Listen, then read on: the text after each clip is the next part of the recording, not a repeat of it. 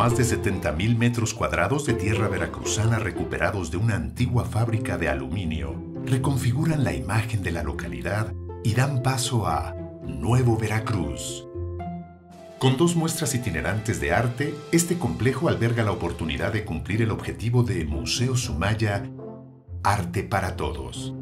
El proyecto eh, en general de lo que es Fundación Carlos Slim, en particular con Museo Sumaya, pues es dar una rehabilitación a estos espacios.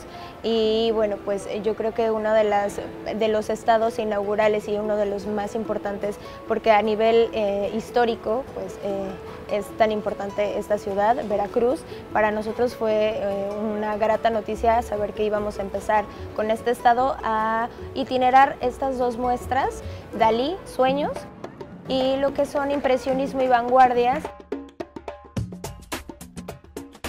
Plaza Nuevo Veracruz recibe la muestra Impresionismo y Vanguardias, compuesta por 50 obras de la colección de Museo Sumaya y Sueños, 11 esculturas del máximo representante del surrealismo, Salvador Dalí.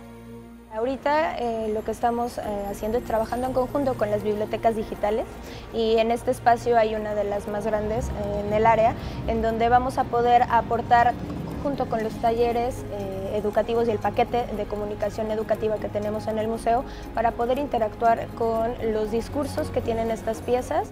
Este bello ejemplar de arqueología industrial ofrece a todos sus visitantes el beneficio de hacer comunidad. Realmente es una oportunidad muy grande porque hemos visto a lo largo de estos días que la gente y los niños están muy interesados en, las piezas.